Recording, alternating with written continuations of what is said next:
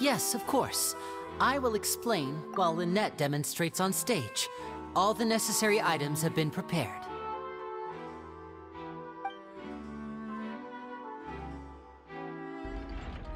Thank you, Mr. Lyney.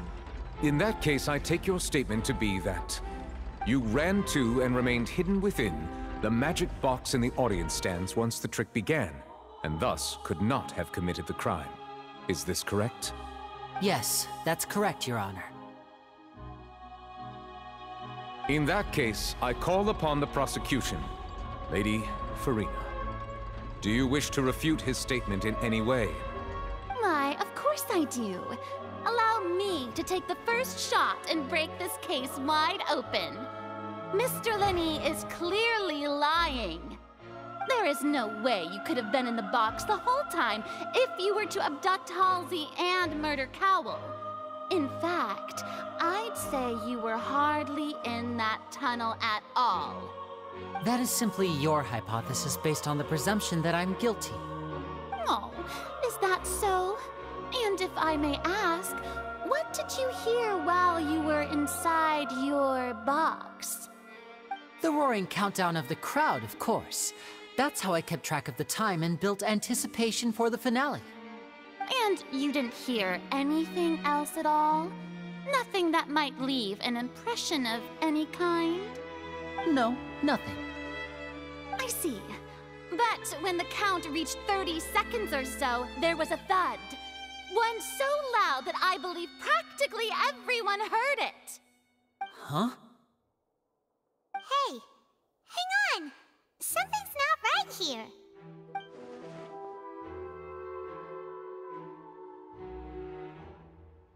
Yeah, I'm sure he could have heard a noise that loud from inside the box. I was right by the box and I definitely heard the thud. Look at those scales. Could those mean...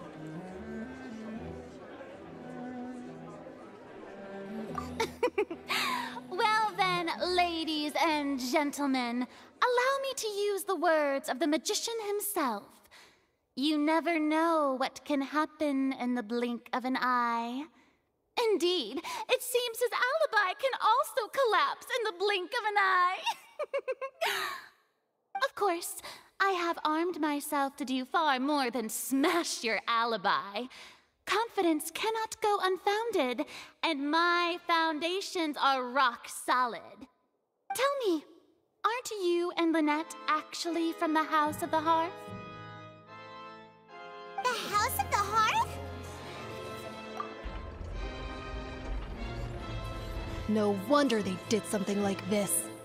So the serial disappearances were the Fatui's doing. Now it all makes sense. I've got a feeling that what happened on stage probably wasn't just an accident. That's irrelevant. Our identities have nothing to do with what happened. Indeed. Then perhaps you could tell us everything that happened during that one minute. Your first priority is to prove yourself innocent after all. I'm sure there is little that needs to be kept secret now. Unless your script already has holes in it. the Outlander is speechless. My, oh my, don't they look flabbergasted? now comes the infighting and discord, I suppose. This was almost too easy. Good thing I made all those preparations. Seems the all-nighter I pulled last night is really paying off. Hey, Lyney! Why didn't you tell us this before?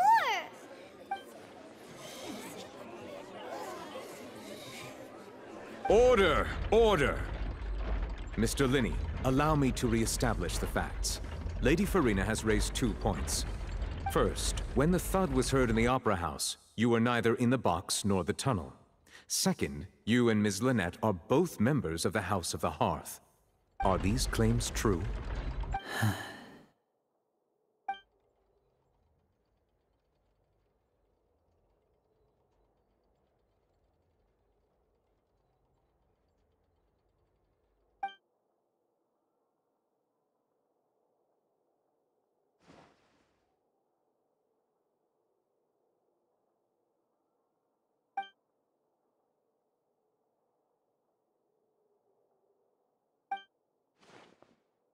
Please answer my question, Mr. Lyney. I'm sorry. Yes, they're true, Your Honor.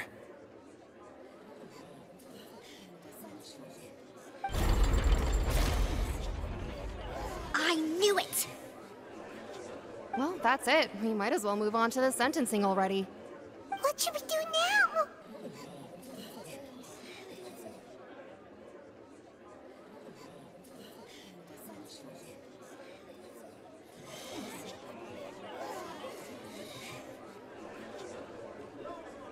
Granted. In that case, what is your request? Is that really necessary? They're already as good as guilty. The defendant deceived their own attorneys. What is there left to discuss? Order! Order, I say! Your request is reasonable, and we shall adjourn. This trial will reconvene in one hour. You would stick to Mr. Lyney's defense even after knowing what you do now? You certainly have more professionalism than I thought. In that case, my dear audience, let's allow the joy of victory to steep for a little while longer.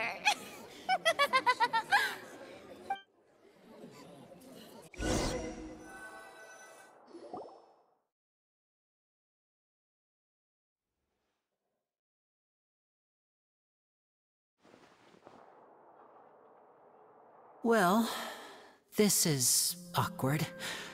I didn't think the Hydro Archon would dig all that up. I'm sorry, Traveler and Paimon. Yeah, sorry.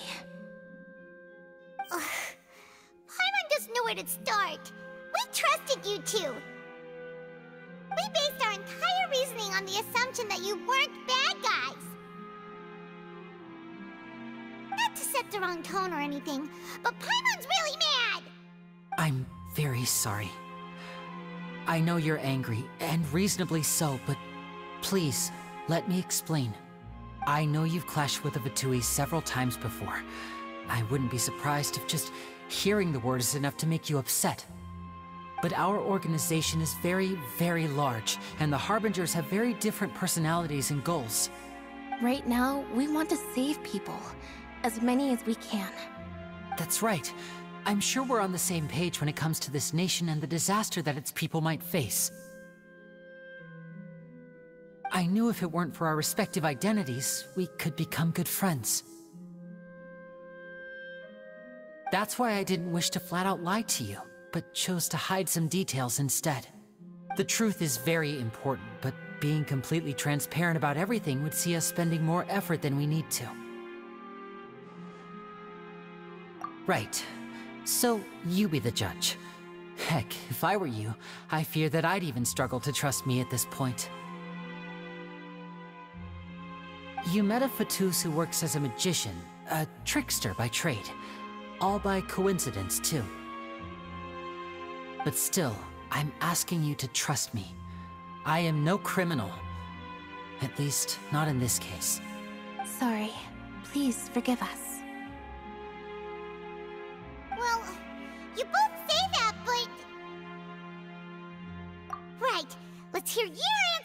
First, and no lies now!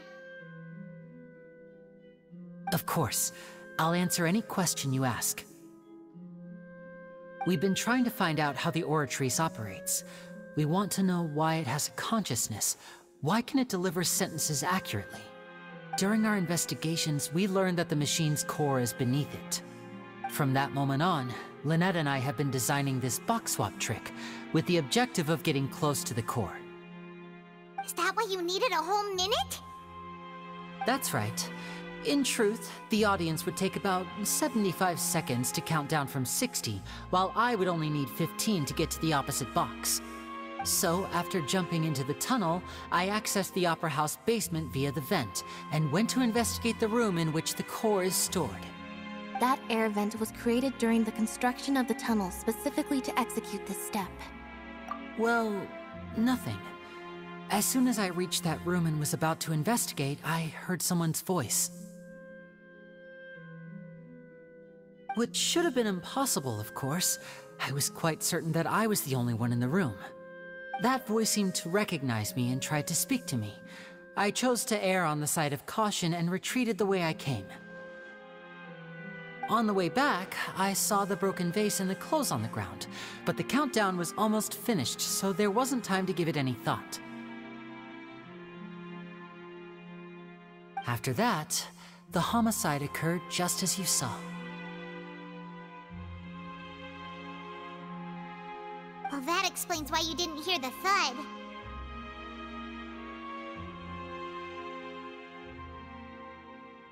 Because of that prophecy I told you about, of course.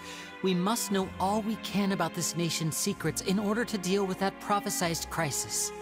That's the only way we can save everyone. So, there you have it. The whole truth. I swear, I didn't hide anything from you this time. It was never my wish to proceed under this cloud of mistrust either. But like I said earlier, you can be the judge. If you want to leave because you don't trust the Fatui, there's nothing I can do to stop you. Well, Traveler, you decide. Paimon will follow your lead however you choose. Okay, thank you. Thanks for giving us a chance.